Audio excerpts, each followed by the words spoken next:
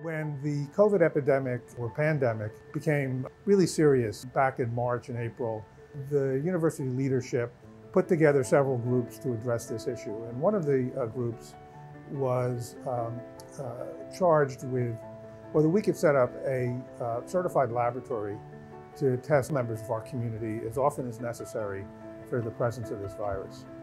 So the, the lab uses a technology that um, people may have heard of called quantitative uh, PCR or qPCR.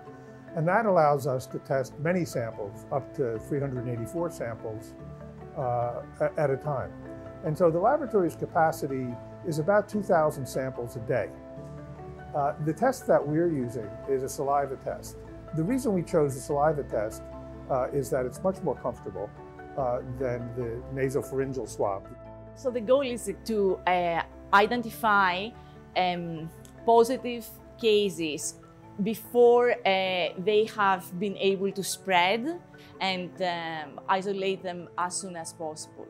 Essentially, it's another public health measure to keep everyone safe.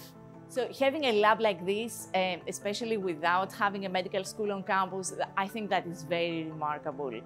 I'm, I'm actually very proud to be working, you know, such a, you know, dynamic environment.